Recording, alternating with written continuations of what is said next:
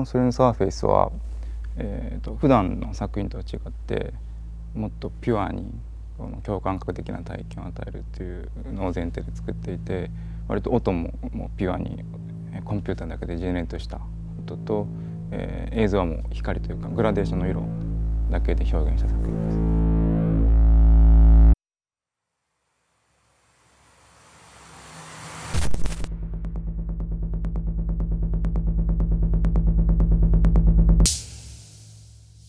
僕自身が共感覚者ではないのであの